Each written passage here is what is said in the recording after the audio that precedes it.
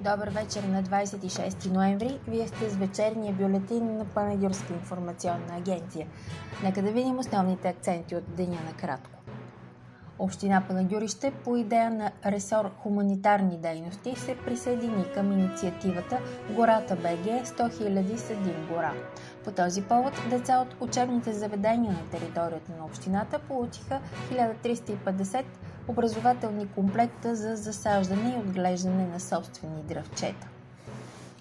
На редовната си сесия Общинският съвет в Панагюри ще гласува състава на постоянните комисии. Председателите и членовете на комисиите можете да видите в публикацията ни в сайта.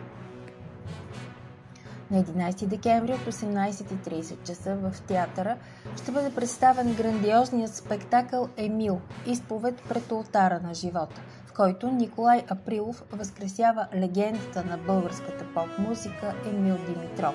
В спектакъла звучат откази от най-любимите песни на незабравимия творец, представени от букет от млади и талантливи изпълнители.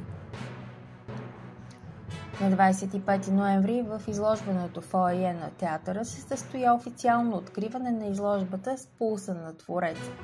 В експозицията са представени творбите на панаюрските художници, участвали в общинския пленер в началото на месец септември. Нистор Хейнов, Елка Дейничина, Пепа Машева, Димитър Панчев, София Николаева, Христина Зайкова и Анастасия Лулчева. Осем детски футболни отбора ще участват в второто издание на Международния детски футболен турнир на името на професор доктор Лачезар Тоцорков, който ще се проведе в Панавюрище на 29 и 30 ноември. За втора поредна година футболен клуб Оборище ще се изяви като отборът домакин на турнира, който се провежда в зала Арена Сарел. В спортното съревнование ще участват футболисти от набор 2009-2010 от ФК Вардър Скопие, ФК Посейдон Солун, Витоша Бистрица, Левски Раковски, Миньор Перник, ДФК Филипов Казанлък и футболен клуб Беломорец Асеновград. Какви са актуалните свободни работни места, обявени от Бюрото по труда в Панагюрище, ще научите на познатия ви адрес pia-news.com.